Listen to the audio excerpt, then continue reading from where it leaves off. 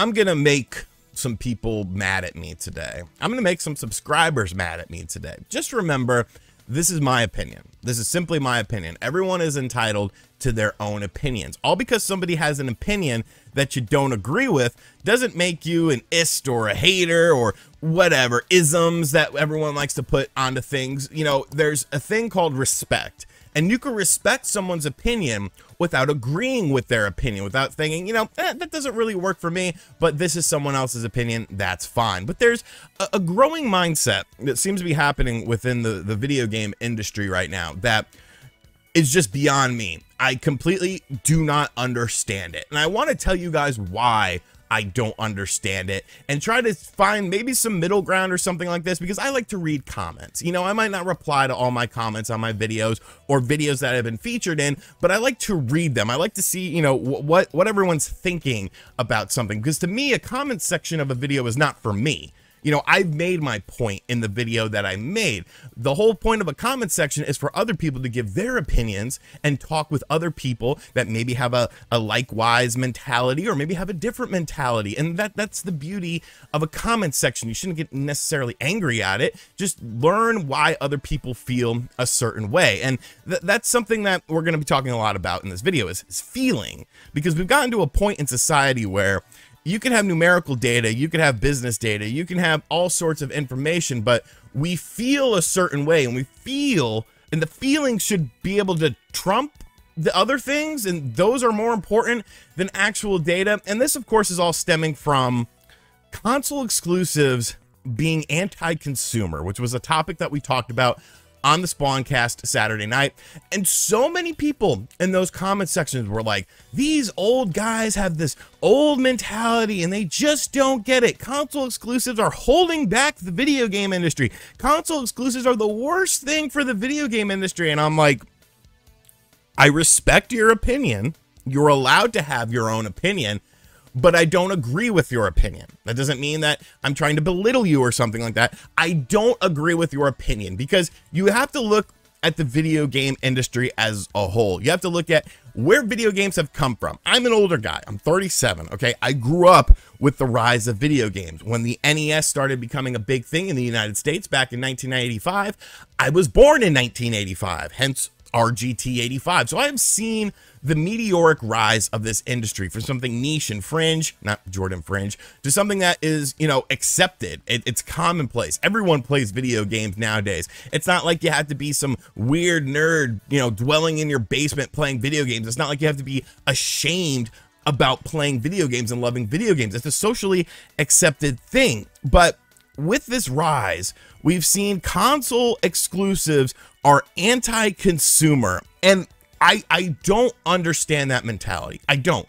because when you go back to you know when console exclusives started happening, you have to remember with the with the NES, okay, on the NES side of things, Nintendo had strict laws with companies that wouldn't allow them to make Sega Master System games. Okay, if you made third-party games, you could only make it on Nintendo platforms in the United States. So because of this, you had arguably the most anti-consumer thing because you only had one system to play. You only had one version of a game on one system and there wasn't any sort of competition.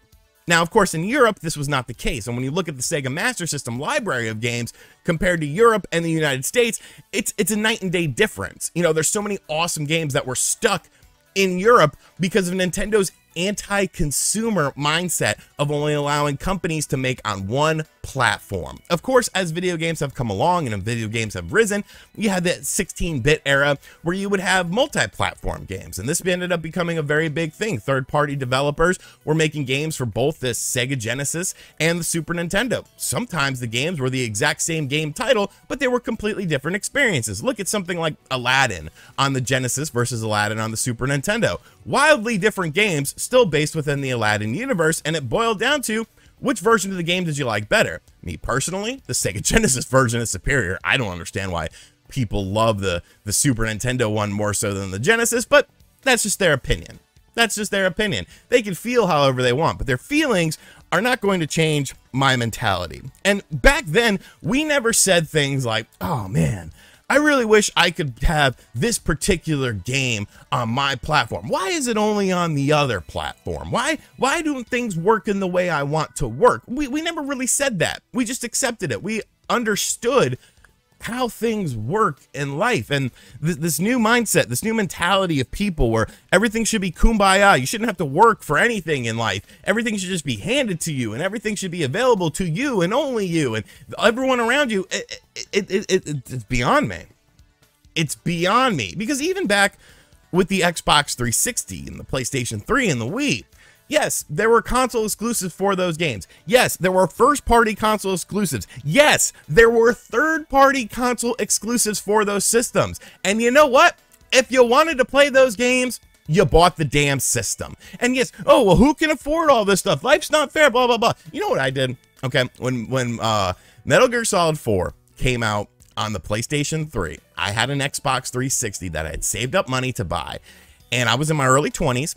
And Metal Gear Solid 4 came out for the PlayStation 3, and I said to myself at that point in time, I need to buy that bundle that they're releasing, but I can't afford it. So you know what I did? I walked into Best Buy. They gave me a credit card and I built up my credit score buying it. I didn't say, holy shit, this is so anti-consumer. I can't believe Konami is putting this game that's a third party game only on the PlayStation 3. I want it on my Xbox 360. I can't believe no. It's business in business, companies are going to do what's best suited for them. Companies are going to do what's going to generate them the most profit. We've we've developed this mindset. We've developed this relationship that's a very one-sided relationship with these companies because at the end of the day these companies don't give a damn about you they give a damn about their investors and they give a damn about their bottom line now yes they want to make consumers happy they want to do things that they think consumers will like, but all because they do something that's a little bit against the grain, which wasn't really against the grain in history, it doesn't make them anti-consumer. It doesn't make them a bad company. You could make a case about Microsoft buying up all these studios. And that's that's sort of the crux of the conversation because everyone is saying that if Microsoft starts doing these games and you know even Sony themselves, you know, game like Call of Duty, we can't compete with Call of Duty if it were to go as a console exclusive game. You can't compete. You can't compete. I'm sorry. I thought the whole point of the video game industry was was competition. I thought the whole point of the video game industry was to strive to do better. And if someone is doing something better than you, you try to find a way to circumvent that. You try to find a way to combat that because competition makes for a, a better product. It makes for a better industry, a healthier industry, because now you have to come up with ideas. You have to think outside of the box. Not everything is just being handed to you from these third party developers. It seems like the whole conversation doesn't really revolve around first party exclusives though, because that was something that a lot of people in the comments section of that video said, because I just basically said, you know, you want to play a first party Sony game, you buy a PlayStation. Maybe a couple years you can play it on PC, but you buy a PlayStation. You want to play a Gears of War or Halo, you buy an Xbox. You want to play Mario or Zelda, you buy a Nintendo product. But people say, no, it's not about that.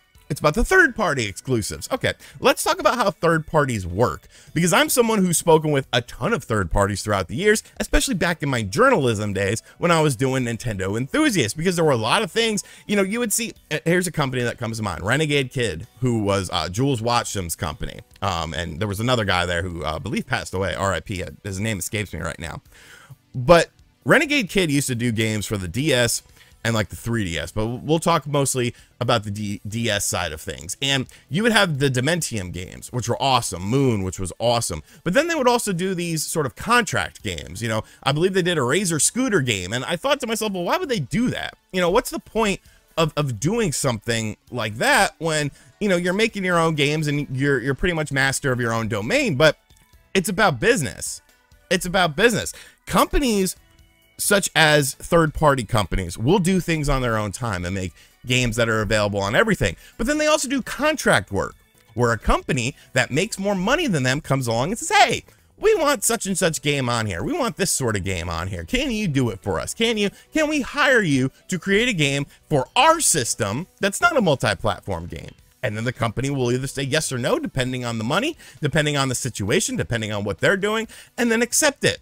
And then you have a game that maybe releases on only one platform. And maybe if that game is successful down the road, if there's not so any sort of, you know, exclusivity with the console, the other companies come along and say, hey, we want this game too.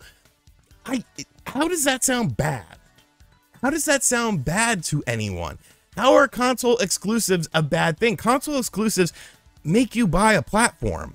And you know, you might not like having to to buy a Nintendo Switch to play a Super Mario Odyssey, but if that wasn't the case, if, if Nintendo was just a game developer and everyone was a game developer, what would be the point of having different systems? What would be the point of having anything like that? If you only have one console manufacturer and everyone's putting one game, uh, putting their games on one specific platform, do you realize how that would stifle creativity? Do you realize how that would stifle the entire video game industry? You would have dozens and dozens of games coming out a month and nothing would be able to survive nothing would be able to survive. Nothing. Nothing at all.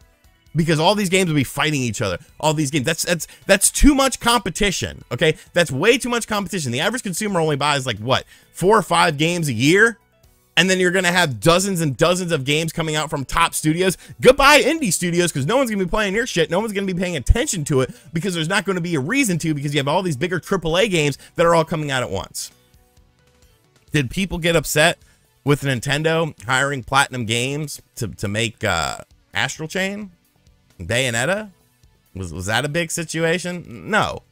You want to play Bayonetta, Nintendo is helping fund it. You want to play Astral Chain, Nintendo is helping fund it. It's the exact same thing that's happening with these other third party games, all because Call of Duty is now owned by Microsoft. And like I said, you can make a case for the whole situation about buying up these other companies and potentially making a monopoly. And, you know, I would listen to that. I, I, would listen to that. But it seems like people don't want to advance beyond that. They don't want to advance beyond that in this conversation. The, the, the crux of the conversation is I have such and such platform, and it's BS that this game is not coming out on this platform because somebody else owns it.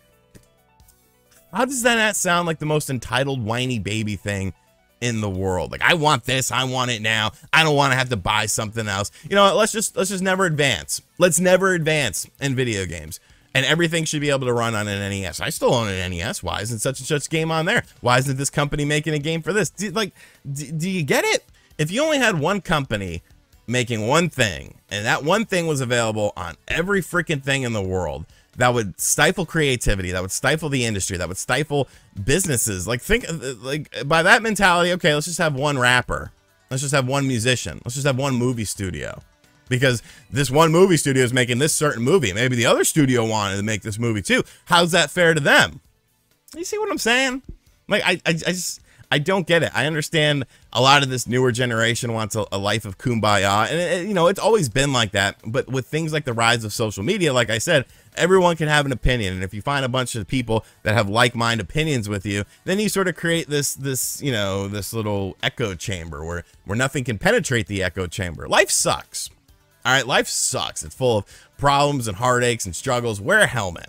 You know, all because console exclusives exist if anything, console exclusives are what drives the video game industry to hit higher regions. what drives the video game industry to do better because it gives you an incentive to play on a certain platform. I don't care if it's a first party exclusive. I don't care if it's a third party exclusive. Guess what, kids? Money talks. Money is what makes the world go round. And the more money you have, the more things you can do. You might like it, you might hate it, but you have to accept it. Your feelings on that subject don't negate the facts of the subject. And the fact of the matter is, if you're making money, you could do more things. If you're losing money, you have to reconsider your business strategy. So, I don't know, man. I, know, I feel like I went all over the place with this, but I keep, I just keep seeing it. Console exclusives, they're bad. They're ruining the video game industry. They're anti-consumer. Not everything is about you, consumer. Not everything is about you. You are the person consuming the product, okay? If you don't like something, that doesn't necessarily mean it's evil and bad and it's this, that, and the other. It's just not for you. It, it, it's not. It's not directed to you. So how does that make it bad? How does that make someone, you know, because they don't understand why somebody has this mentality, you know, an ist or an ism or a, a phobia or or something like that. You can respect people with not understanding their their mentality on on a subject. And that's what the world needs now, you know. Respect other people. At the end of the day, you, no matter what, Jesus Christ, we're getting way off topic here. No matter what race, religion, creed, sexual orientation. It doesn't fucking matter. At the end of the day, we all bleed blood. Okay, we all bleed the same blood. There's different blood types, but we all bleed blood. We're all humans at the end of the day. We're all just trying to get by and trying to survive. And that's what the video game industry is trying to do. It's trying to become greater. It's trying to become a bigger thing. And console exclusives are helping drive that. Console exclusives are helping create a medium where people can take more risks and people can take more, you know, and create more greater experiences, or else we would still be stuck in the Stone Age. It might hurt your feelings but don't let the facts get in the way of it. All right, I'm just going to shut the hell up because I've probably already pissed off a lot of people. Goodbye.